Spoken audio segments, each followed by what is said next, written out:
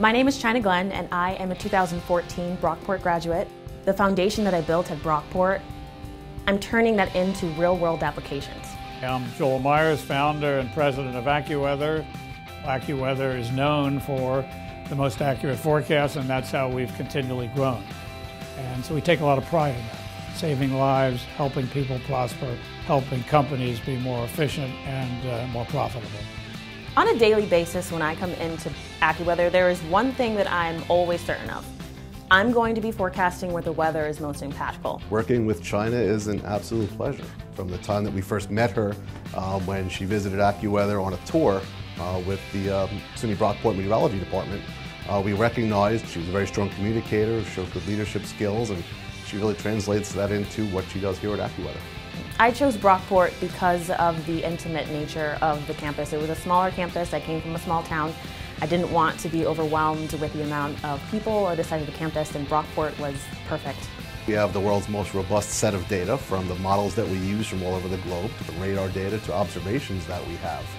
Um, and that could be anything from data at airports to networks that are um, of higher resolution within individual states or countries, allowing us to best diagnose the weather and best help people's lives. Brockport is known for its meteorology. We have a very small department, but with that comes with the ability to get to know your, uh, your mentors and your advisors. And the moment I was accepted, I got an email from him in my Brockport webmail saying, welcome to the Earth Science Department. We're glad to have you. If you have any questions, let me know.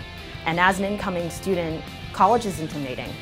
And if you have that one person to guide you along and help you with both academic and non-academic things, it makes a world of difference. And at Brockport, my other advisors, my other teachers, they helped me and allowed me to grow into the position that I am in and give and gave me the tools necessary to succeed. As we've taken more and more control of our lives in so many ways, the weather still is that random uh, impact and it has a significant effect. So to help people use that in planning and, and work around weather that can interfere with activities uh, is more important than ever. I love the fact that when I come in to work, that there is something that's going to be done that's going to impact someone's life. Whether or not it's going to be the fact that you're going to have a great day for your picnic, or the fact that you need to board up and actually evacuate because that tropical storm or that hurricane is actually going to cause a lot more damage than what other sources are saying is without a doubt the most rewarding thing that I find working here at AccuWeather.